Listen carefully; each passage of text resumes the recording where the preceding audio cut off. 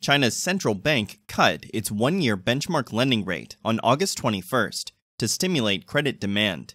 The move comes amid growing concerns about the country's weakening currency and the need to revive its economic growth. The world's second largest economy has faced challenges in its recovery due to various factors, including a struggling property market, sluggish consumer spending, and a decline in credit growth. These issues have prompted authorities to consider further policy stimulus measures.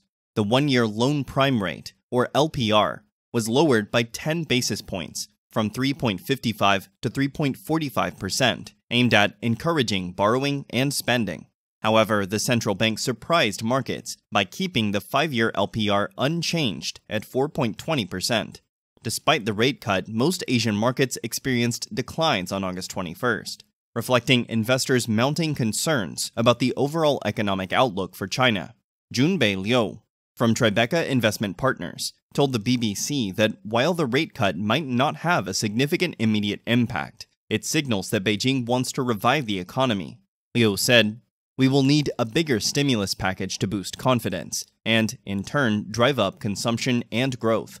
Without it, the economy risks faltering into deflation, which will be harder to revive.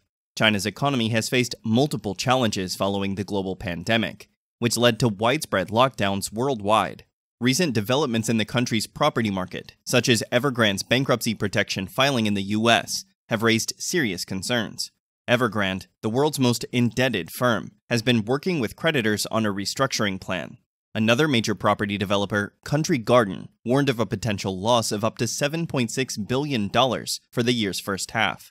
These issues, combined with China slipping into deflation for the first time in over two years, deepen the country's economic landscape.